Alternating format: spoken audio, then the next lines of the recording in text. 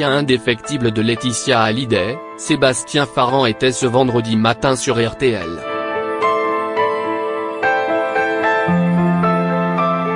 Celui qui fut le dernier agent de Johnny Hallyday a confié qu'il espérait encore avoir des nouvelles des deux aînés du rocker, David Hallyday et Laura Smith.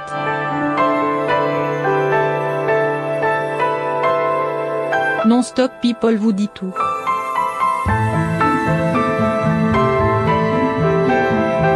Depuis le début de la bataille autour de la succession de Johnny Hallyday, Laetitia Hallyday n'a pas reçu énormément de soutien. Évidemment, il y a eu ses grands amis comme Jean Reno ou Hélène Darroze.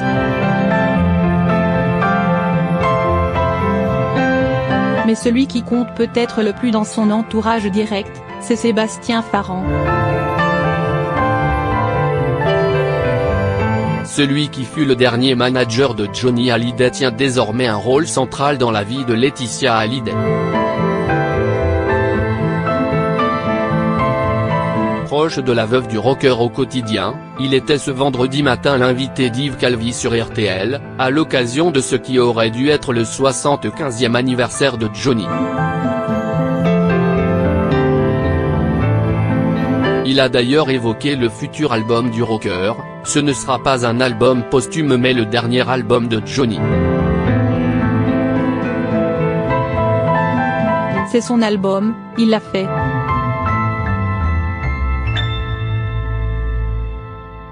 Un album personnel qui lui correspond tellement a-t-il confié. Mais surtout, Sébastien Farran est revenu sur le conflit qui oppose Laetitia Hallyday aux deux aînés de Johnny. Laetitia arrive à protéger ses filles, mais chose incroyable aussi, ses filles arrivent à protéger Laetitia raconte l'ancien manager du taulier. Tout le monde espère que l'on trouvera bientôt une issue. Point, point.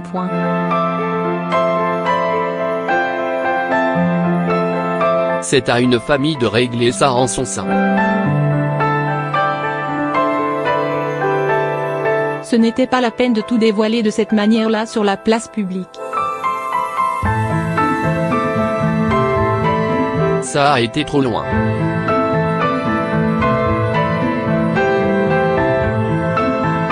Sébastien Farran a toutefois concédé qu'il était absolument sans nouvelles de Laura Smet et David Hallyday. J'adorerais en avoir, je n'en ai pas personnellement mais ça viendra sûrement.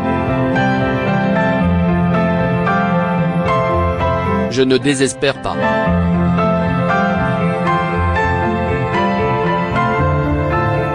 Biographie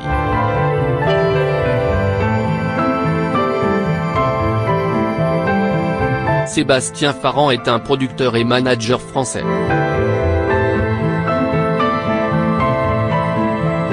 À la fin des années 80, au début de sa carrière, Sébastien Farran fait une rencontre déterminante, celle du chanteur Didier Morville alias Joe Star.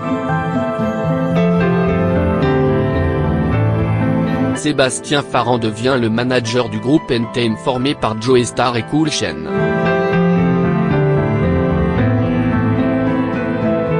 Au fil des années, il se fait connaître dans le milieu du rap et multiplie les collaborations. En 2003, il ajoute une corde à son arc et crée une société de concert. Producteur avisé, il s'occupe des tournées de plusieurs artistes, notamment Tété ou Fallout Boy. Il est également producteur du groupe Ragasonic, tout en poursuivant sa collaboration avec Joe Star. En 2007, le grand public découvre son visage lorsqu'il intègre le jury l'émission Popstar sur M6 aux côtés de Mia Fry et Ophélie Winter. Depuis 2012, Sébastien Farran est le manager de Johnny Hallyday.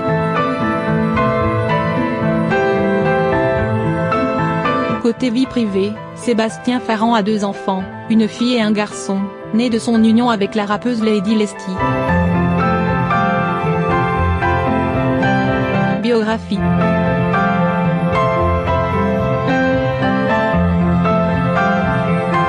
Jean-Philippe Philippe Smet de son vrai nom est né le 15 juin 1943 dans le 9e arrondissement de Paris.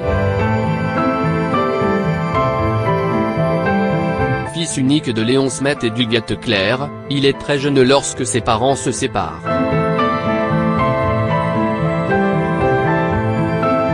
Sa mère, mannequin cabine, le confie alors à sa tante paternelle qui l'élève avec ses deux filles, Desta et Maynon. Son enfance est marquée par de nombreux voyages à travers l'Europe, avec ses cousines, danseuses, qui se produisent en spectacle.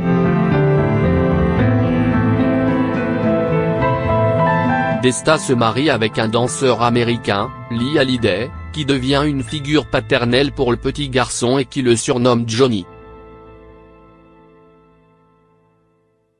Rattrapé par la fibre artistique familiale, il prend des cours de théâtre, joue du violon puis de la guitare. En 1956, il monte sur scène pour la première fois et assure la première partie du spectacle de Desta Lee Hallyday à Copenhague. De retour à Paris, l'adolescent trouve sa voix à 14 ans lorsqu'il découvre un nouveau courant musical incarné par Elvis Presley. Signé par la maison de disques Vogue en 1960, il sort un 45 tours, T'aimais follement, sous le pseudonyme Johnny Hallyday. Il ne tarde pas à déclencher l'hystérie lors de ses performances sur scène qui sont sa marque de fabrique. Avec l'album Salut les copains, il devient le chanteur emblématique de la période yéyé. En 1963, la chanson L'idole des jeunes devient un tube. Puis il met sa carrière entre parenthèses pour effectuer son service militaire en Allemagne.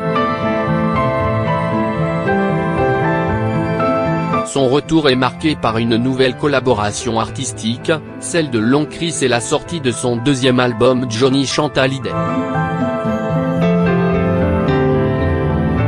Le chanteur enchaîne les concerts à un rythme effréné et connaît quelques problèmes avec le fisc.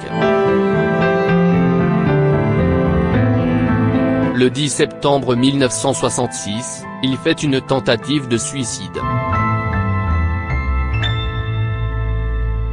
Cet événement va inspirer la chanson Noire, c'est Noir qui est à nouveau un tube. Au cours des années 1970, Johnny Hallyday souhaite se diversifier et varier les registres.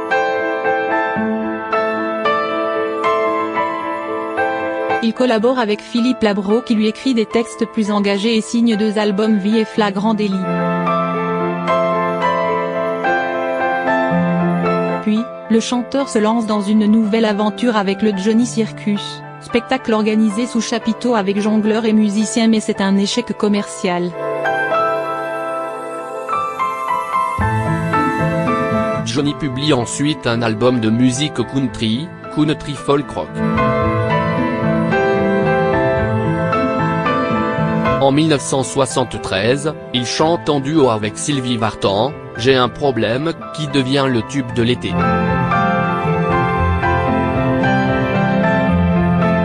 En 1975, il enregistre rock à Memphis puis s'exile aux États-Unis en famille quelques mois.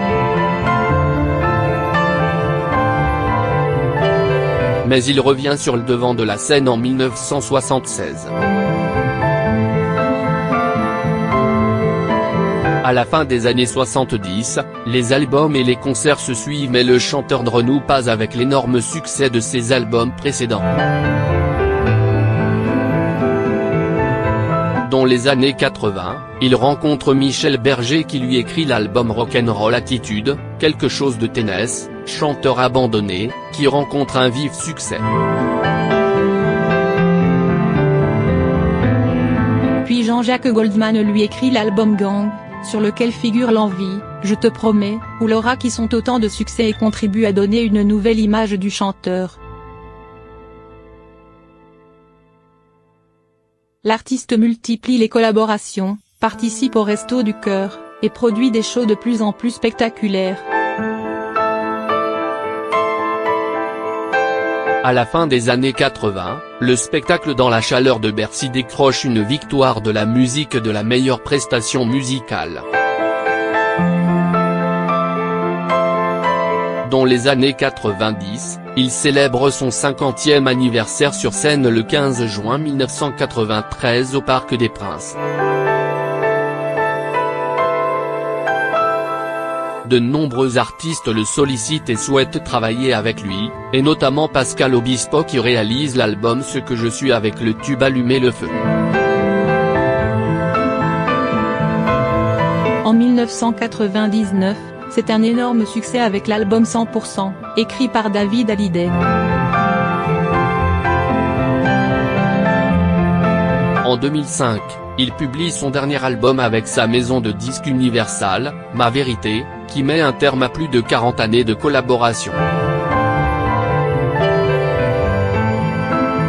À la fin de la même année, il intègre la maison de disques Warner et publie sous ce nouveau label Le cœur d'un homme. En mai 2009, Johnny Hallyday entame une nouvelle tournée baptisée Tour 66.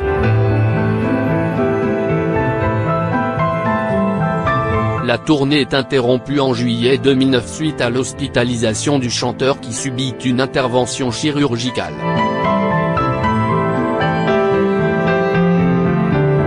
En septembre, il reprend sa tournée, avant d'être à nouveau hospitalisé, fin novembre 2009, pour une hernie discale. En décembre 2009, à Los Angeles, il est hospitalisé d'urgence au Cedar Ciné suite à des complications, et est plongé plusieurs jours dans le coma. Le chanteur se remet après une longue convalescence qui l'incite à diminuer le rythme de ses concerts. En septembre 2010, il annonce qu'il a changé de producteur et travaille dorénavant avec Gilbert Coulier.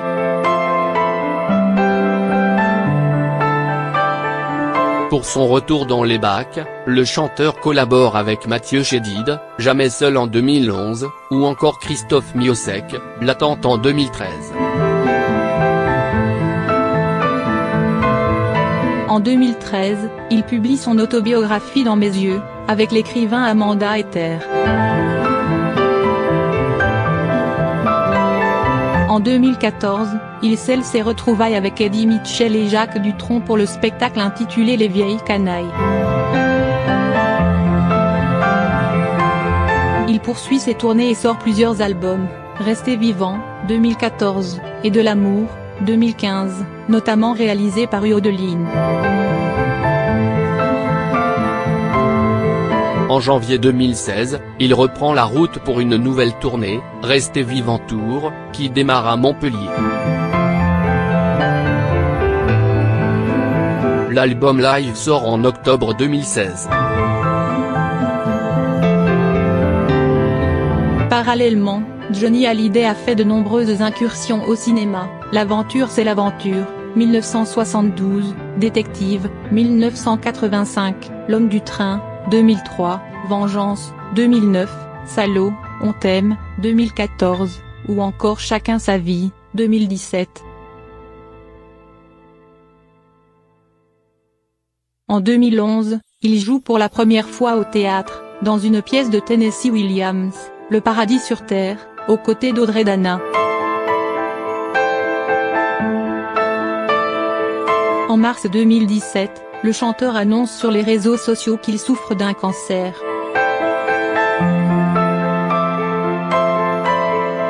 En juin 2017, il rejoint néanmoins la tournée des vieilles canailles aux côtés d'Eddie Mitchell et de Jacques Dutronc.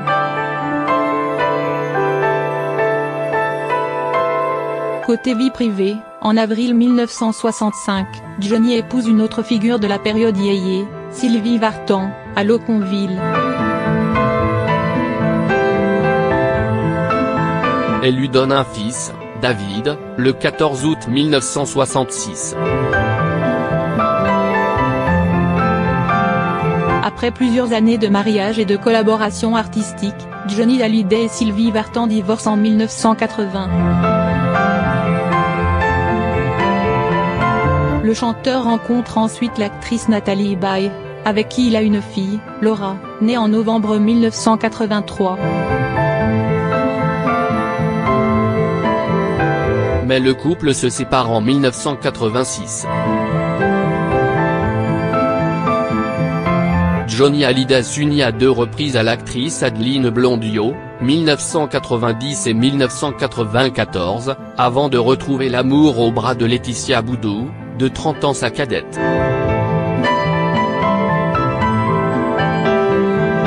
Il se marie le 25 mars 1996 et adopte deux fillettes d'origine vietnamienne, Jade, née le 3 août 2004, et Joie, née le 27 juillet 2008. Le 5 décembre 2017, Johnny Hallyday décède à l'âge de 74 ans à son domicile de Marne-la-Coquette. Le 9 décembre 2017, une cérémonie religieuse est organisée à la Madeleine à Paris.